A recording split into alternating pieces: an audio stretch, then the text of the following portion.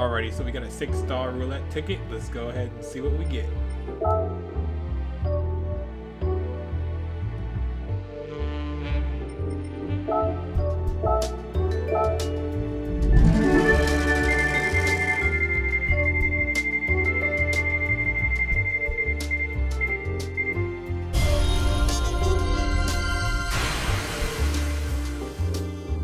Okay, I was one of the people that hated the roulette system, but I have to admit they have improved it.